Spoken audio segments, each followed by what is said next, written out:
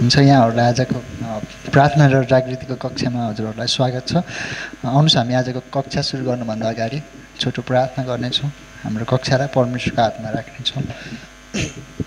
प्रभु हामी हजुरलाई धन्यवाद भन्दछौँ आजको दिन दिनुभएको निम्ति र प्रभु हामीलाई यसरी कक्षामा डोर्याउनु भएको निम्ति अनि साँच्चै नै प्रभु हामीलाई बोलाउनु भएको निम्ति हामी हजुरलाई धन्यवाद भन्दछौँ। तपाईँको स्वर्गीय ज्ञान सिक्नको निम्ति प्रभु हामीले यसरी लिएर आउनु भएको निम्ति डोर्याउनु भएको निम्ति हामी हजुरलाई धन्यवाद भन्दछौँ। साँच्चै प्रभु हामीलाई सिकाउनुहोस् तपाईँ परमेश्वरले। हामी तपाईँद्वारा भरिन चाहन्छौँ हामी तपाईँद्वारा सिक्न चाहन्छौँ प्रभु। साँच्चै प्रभु हाम्रो ज्ञान अधुरो छ। हामीलाई तपाईँको ज्ञानको आवश्यकता पर्दछ प्रभु। हामीलाई स्वर्गीय बुद्धिको आवश्यकता पर्दछ प्रभु। त्यसै कारण हामी यहाँ छौँ प्रभु। हामीलाई सहायता गर्नुहोस् आजको कक्षामा र तपाईँको महिमा होस्। धन्यवाद छ सिक्ने सिकाउने दुवाईको साथमा तपाईँ परमेश्वर हुनुहोस् यीशु प्रभुको नाउँमा आमेन हुन्छ यहाँहरूलाई हाम्रो कक्षामा हामी स्वागत गर्दछौँ विशेष गरी हामी कुन क्लासमा छौँ हजुरहरूलाई याद छ खुसी लाग्यो हाम्रो पहिलो कक्षा हो यो र विशेष गरी हामी चाहिँ यो कक्षा चाहिँ प्रार्थना र जागृति भनेर यो कक्षाको शीर्षक राखिएको छ भने अनि यो कक्षामा चाहिँ हाम्रो आदरणीय साथी सिमन र म आफैले पढाउँदैछु। विशेष गरी हाम्रो कक्षामा विभिन्न शीर्षकहरू लगभग सोह्र सत्रवटा कक्षाहरू हुनेछ हाम्रो कक्षा। हाम्रो यस प्रार्थना र जागृतिको विषयमा र विशेष गरी एक दिनको कक्षा म आफैले पढाउने छु र अर्को दिनको कक्षा सिमन सरले। यसै गरी हामीले सोह्र सत्रवटा कक्षा हामी पालै पालो पढाउनेछौँ र विशेष गरी तपाईँहरू यहाँहरू सबैजनालाई हामी हाम्रो यस प्रार्थना र जागृतिको कक्षामा स्वागत गर्दछौँ र विशेष गरी तपाईँहरू धेरैजना नयाँ विद्यार्थीहरू हुनुहुन्छ। अनि साँच्चै यो चाहिँ महत्त्वपूर्ण कुरा हो हामी बाइबल कलेजमा हुने चाहिँ। अनि विशेष गरी हामी यस समय कक्षाको परिचयमा हामी जानेछौँ र त्योभन्दा अगाडि हाम्रो एके एकाडेमिक एक्टिभिटिज मतलब कक्षा सम्बन्धी चाहिँ हाम्रो जानकारीहरू हामी केही समय हेर्नेछौँ। किनकि हाम्रो यो पहिलो कक्षा चाहिँ परिचयको कक्षा हो र हाम्रो चाहिँ दिनौँ कक्षामा हाजिर हुने गर्दछ र हाम्रो आदरणीय भाइ रोशन भाइले चाहिँ हाम्रो कक्षाको हाजिर गर्नुहुन्छ र विशेष गरी हजुरहरू कक्षा सुरु हुनुभन्दा दस मिनट अगाडि हाम्रो पहिलेको क्लासमा च्यापल मिटिङमा पनि यसको बारेमा बताइएको थियो। र जब हामी आजको कक्षा हुँदाखेरि चाहिँ धेरैजना हामी दस मिनट अगाडि थिएनौँ है। त्यस कारण हामी भोलिका दिनहरूदेखिबाट कक्षामा हामी दस मिनट अगाडि आउनेछौँ। आमेन विशेष गरी कक्षामा चाहिँ हामी दस मिनटभन्दा कक्षा सुरु भएको दस मिनटभन्दा ढिलो आएमा चाहिँ सो त एब्सेन्ट हुनेछ। विशेष गरी यसमा चाहिँ हाम्रो रोशन भाइले गर्नुहुनेछ। उहाँले तपाईँहरू यदि दस मिनट ढिलो आउनुभयो भने कक्षा सुरु भएको। त्यस समय एब्सेन्ट चिन्ह लगाइनेछ। र दुईदेखिबाट तिनवटा क्लास चाहिँ क्लासमा हामी यदि अनु अनुपस्थिति भयौँ भने अनि त्यस समय पनि हामी स्वत अडिटमा जानेछौँ। यसको मतलब हामी यदि दुईवटा क्लास हामीले यदि गर्न भ्याइएन र त्यसको जानकारी पूर्व जानकारी हामीले गऱ्यौँ भने त्यसको लागि हामीले भिडियो क्लास प्राप्त गर्नेछौँ। र त्योभन्दा धेरै कक्षाहरू यदि तपाईँहरूले मिस गर्नुभयो भने तपाईँहरू अडिटमा जानुहुनेछ। तपाईँहरू सिक्नको निम्ति आउन सक्नुहुन्छ। तपाईँहरूलाई क्रेडिट मिल्ने छैन दुईवटा अथवा दुई दुईभन्दा बढी कक्षाहरू यदि तपाईँहरूले मिस गर्नुभयो भने र कक्षाको लागि आवश्यक सामग्रीहरूमा सामग्रीहरू तपाईँले अनिवार्य रूपमा लिएर आउनुपर्नेछ। विशेष गरी सबैजना हामी बाइबल कलेजमा छौँ त्यस कारण हामीलाई बाइबलको अति आवश्यक छ होइन? बाइबल कलेजमा बाइबल भएन भने सायद त्यो व्यर्थ हुनेछ। त्यस कारण हामीलाई बाइबलको आवश्यक छ। आवश्यकता छ र त्यसै गरी हामीलाई नोट कपीको आवश्यकता छ हामीलाई लेख्नु आवश्यक छ।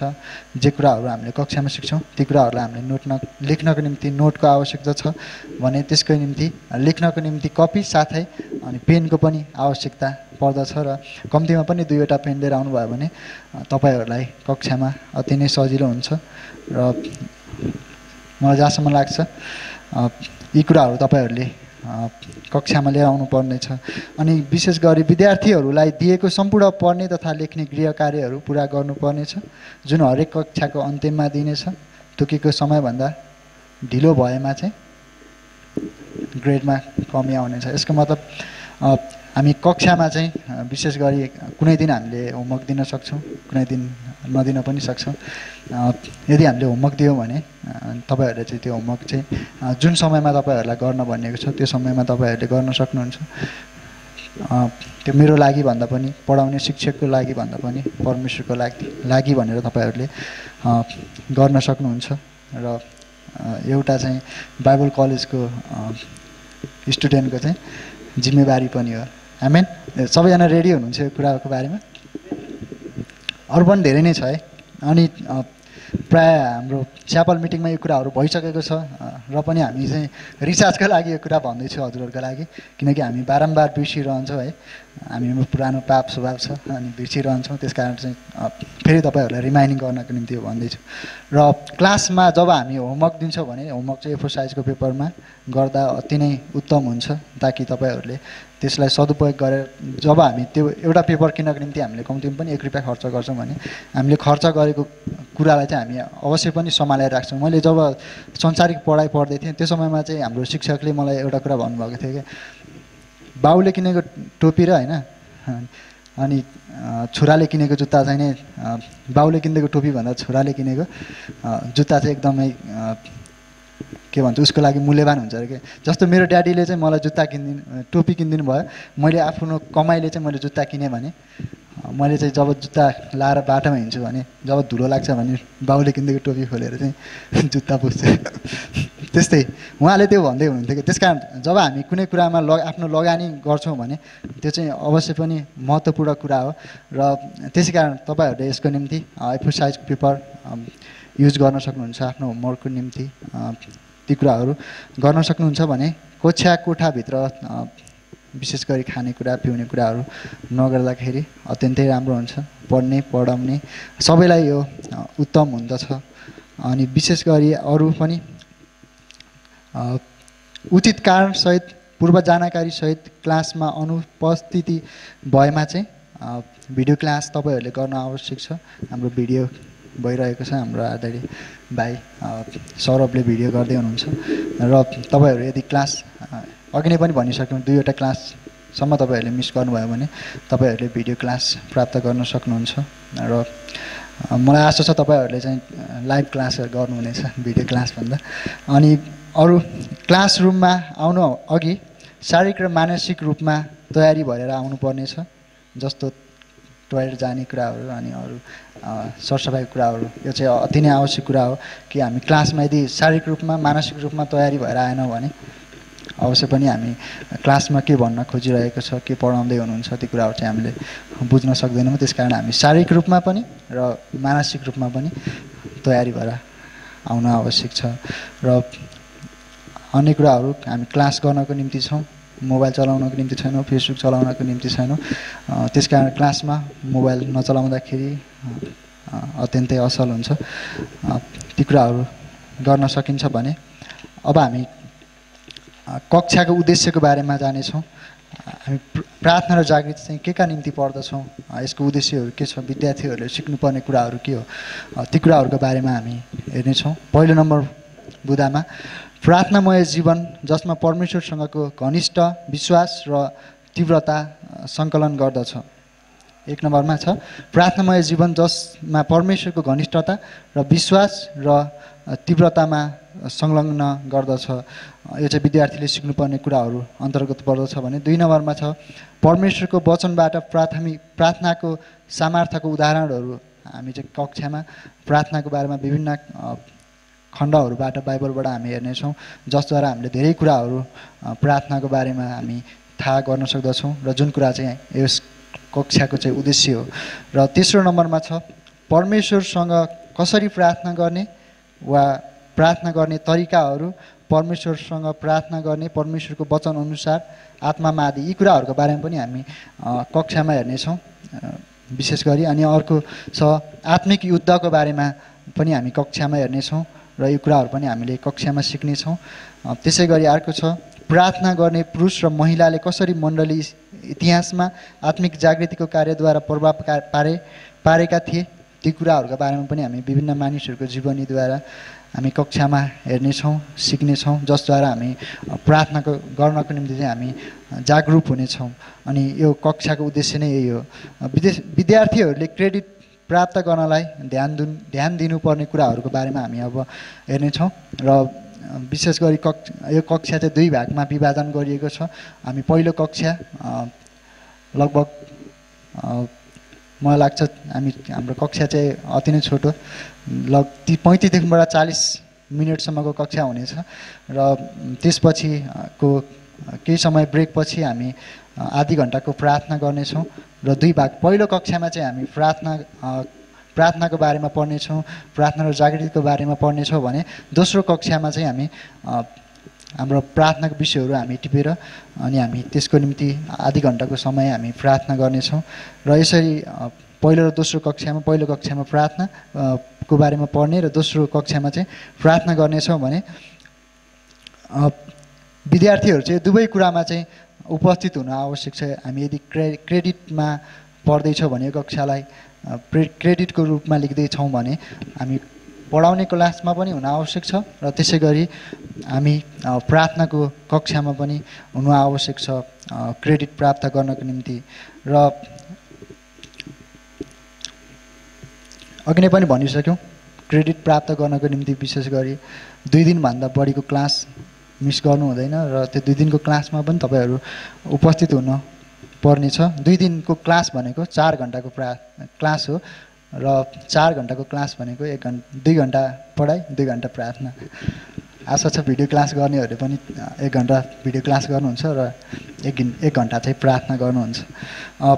विद्यार्थीहरूलाई दिएको सम्पूर्ण पढ्ने लेख्ने गृह कार्यहरू पुरा गर्नुपर्नेछ जुन हरेक विद्यार्थीले कक्षाको अन्तिममा दिनुपर्नेछ यी कुराहरू चाहिँ हाम्रो कक्षाको बारेमा भएको जति पनि जानकारीहरू मैले कक्षाको बारेमा बताइसकेको छु र विशेष गरी होमवर्क गर्ने तरिकाको बारेमा यहाँनिर दिएको छ।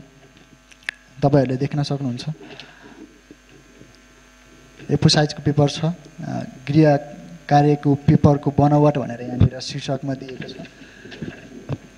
अनि यो साइडमा तपाईँहरूले आफ्नो नाम लेख्नुपर्नेछ र त्यसको छेउमा मि त्योभन्दा तलपट्टि मिति अनि त्योभन्दा तलपट्टि शिक्षकको नाम र बिचमा एफो साइजको पेपर पेपरको बिच बिच ठाउँमा चाहिँ तपाईँहरूले विषय लेख्नुपर्ने हुनेछ र त्यसपछि आफ्नो गृह कार्यको प्रश्न अथवा के छ होइन त्यसको एन्सरहरू तपाईँहरूले लेख्न सक्नुहुनेछ।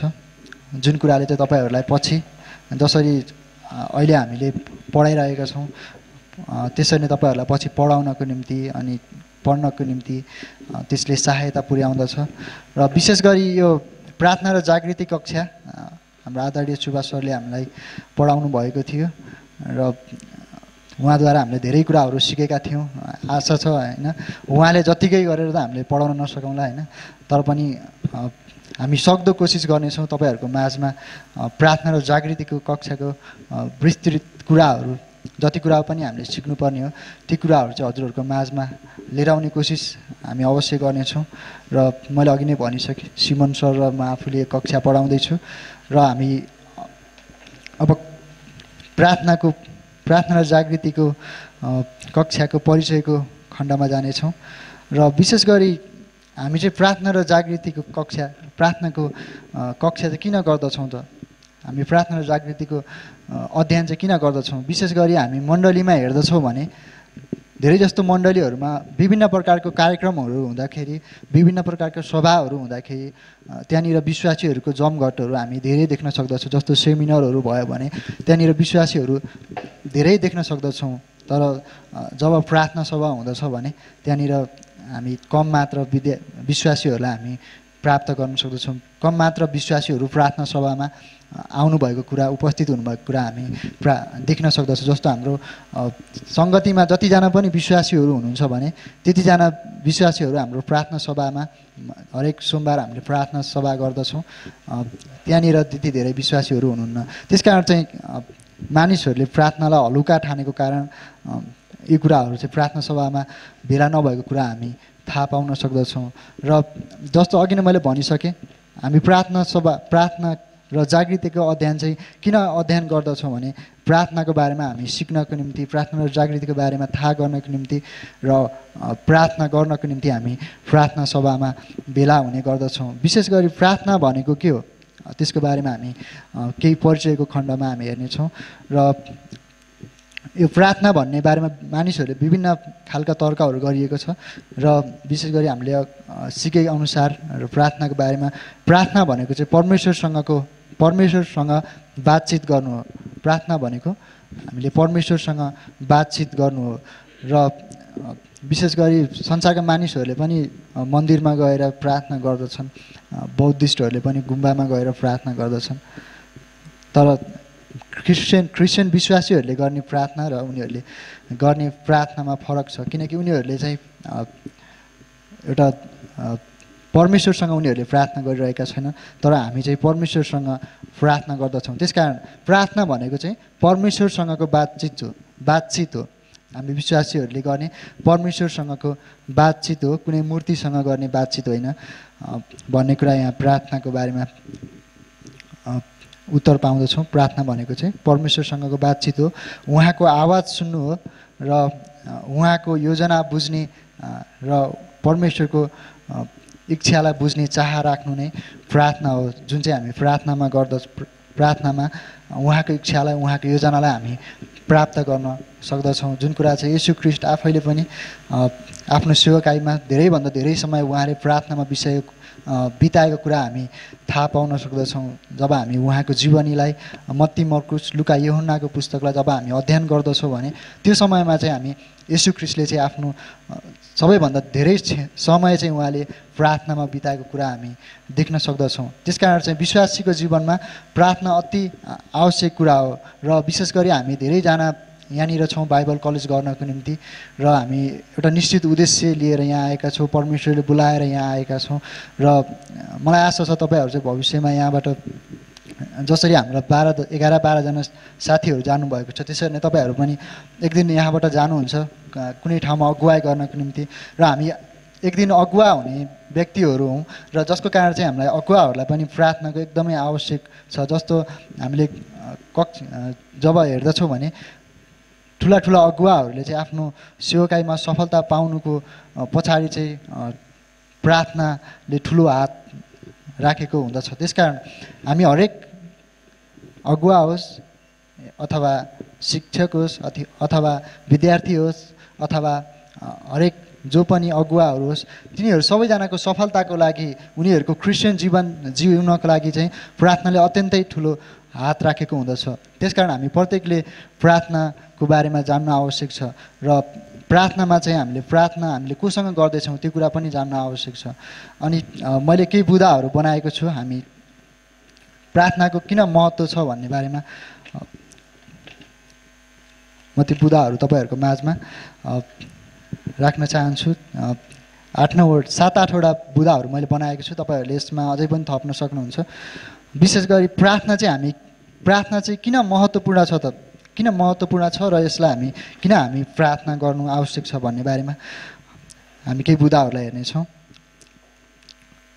प्रार्थना एकदम महत्त्वपूर्ण छ किनकि विश्वासी जीवनको यो एउटा सास हो र विश्वासी जीवनको चाहिँ एउटा आधारभूत तत्त्व हो होइन? विश्वासी जीवनमा चाहिँ हामी चाहिँ वृद्धि हुँदै जानको निम्ति प्रार्थनाले एकदमै महत्त्वपूर्ण हात प्रार्थनाको रहँदछ। त्यस कारण चाहिँ प्रार्थना चाहिँ विश्वासी जीवनको सास हो विश्वासी जीवनको चाहिँ चाहिँ आधारभूत तत्त्व हो त्यस कारण हामीले प्रार्थना गर्नु आवश्यक छ र यो महत्त्वपूर्ण कुरा हो। त्यसै गरी दोस्रो नम्बरमा छ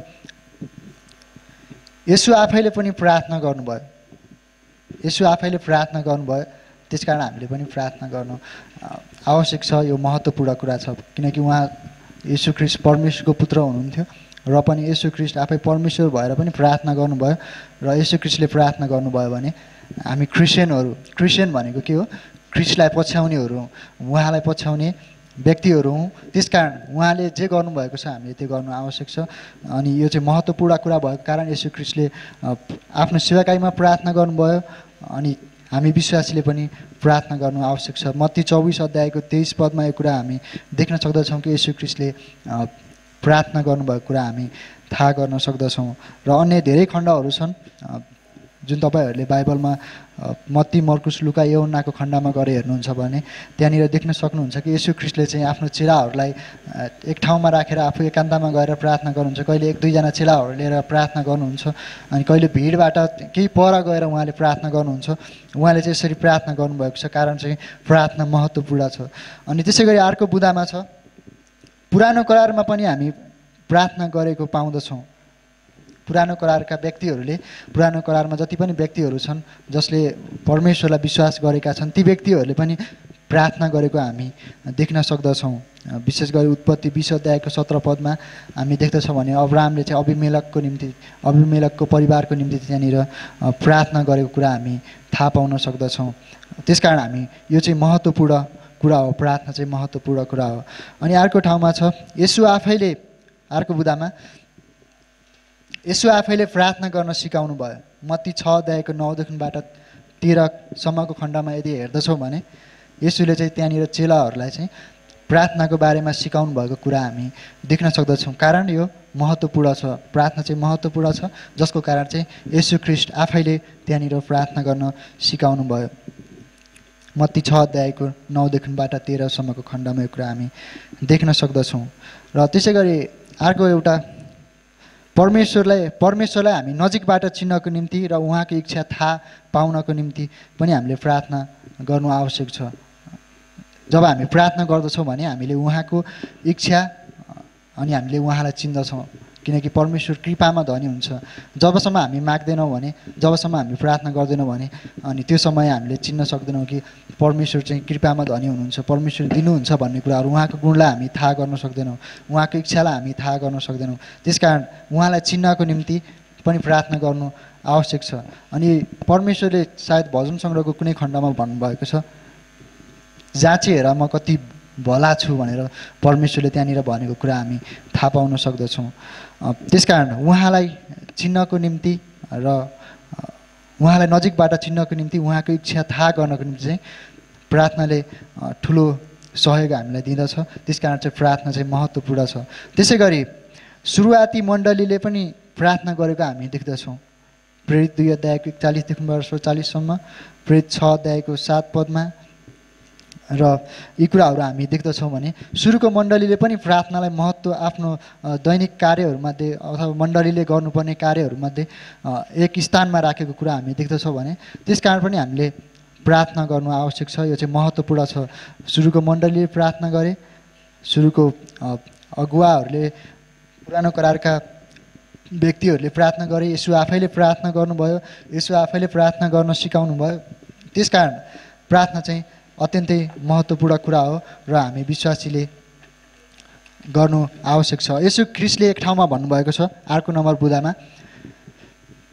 यसुले भन्नुभयो मेरो घर चाहिँ प्रार्थनाको घर कहलिनेछ मेरो घर प्रार्थनाको घर कहलिनेछ मत्ती एक्काइस अध्यायको तेह्र पदमा हामी यो कुरा प्राप्त गर्न सक्दछौँ कि यसु क्रिस्टले भन्नुभयो मेरो घर चाहिँ प्रार्थनाको घर कहलिनेछ अनि दोस्रो कुरन्थी छ अध्याय माफ गर्नुहोस् एकचोटि पहिलो कुरन्थी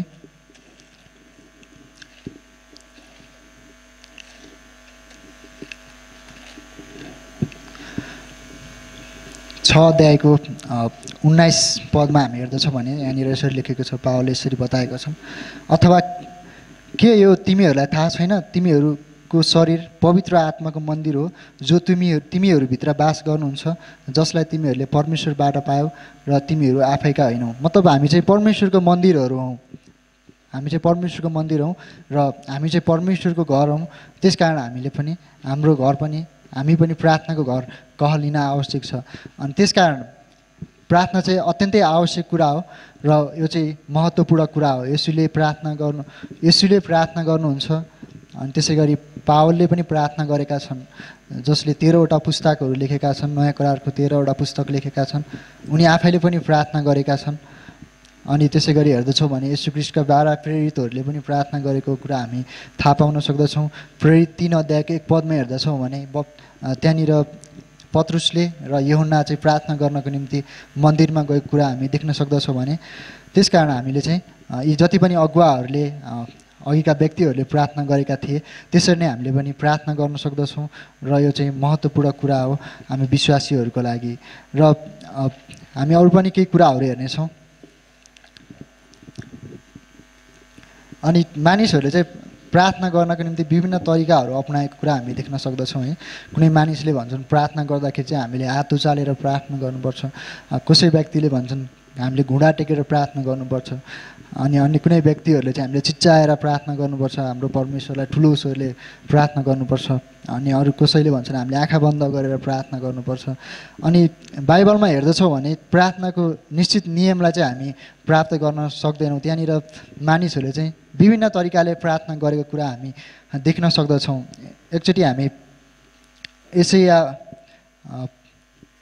सरी एजरा नौ अध्यायको पाँच पदलाई हामी हेरौँ त। इजरा नौ अध्यायको पाँच पद। त्यहाँनिर इजराले कसरी प्रार्थना गरेका छन् भनेर हामी देख्न सक्छौँ। कसैले पाउनुहुन्छ भने चर्को स्वरले पढिदिनुहोस्। इजरा नौ अध्यायको पाँच पद एकजनाले र एउटाले मत्ती छब्बिस अध्यायको उन्चालिस पद।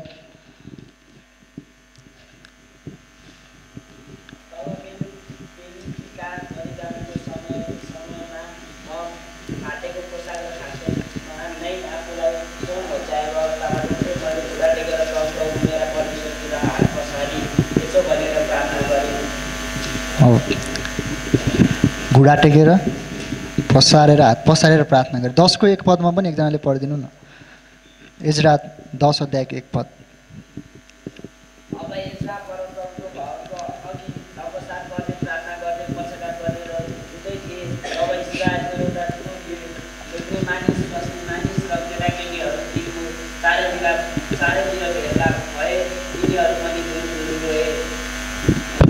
मत्ती छब्बिस अध्यायको उन्चालिस पद।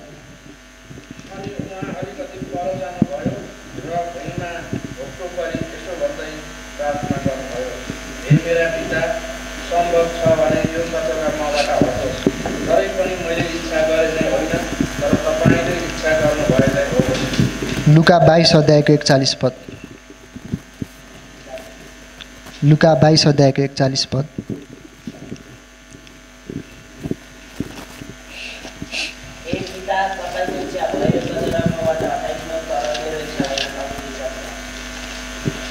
लुक प्रेरित नौ अध्यायको चालिस पद।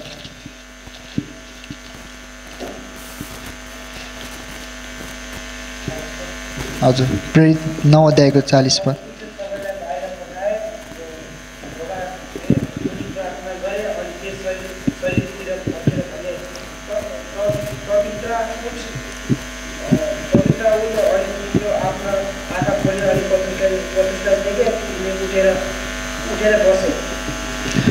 एक्काइस अध्यायको पाँच पद प्रेरित एक्काइस अध्यायको पाँच पद।